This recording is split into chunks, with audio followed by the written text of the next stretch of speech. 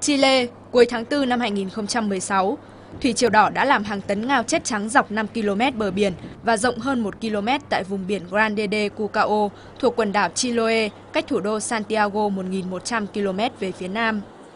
Hồng Kông, cuối năm 2015, thủy triều đỏ khiến 36 tấn cá chết.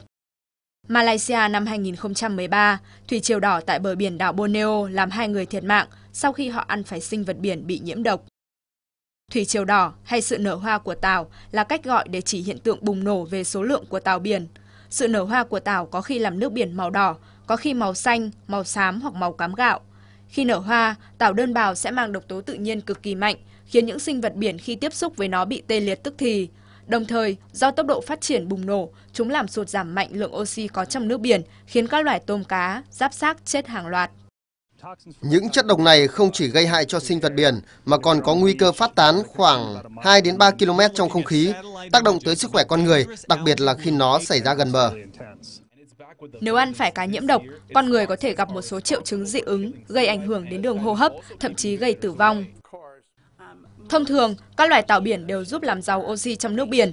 Tuy nhiên, khi phát triển quá mạnh, chúng lại tạo ra vài loại độc tố tự nhiên, khiến nhiều loài sinh vật biển chết hàng loạt. Nguyên nhân và cơ chế phản ứng của thủy triều đỏ thực chất vẫn còn đang gây tranh cãi.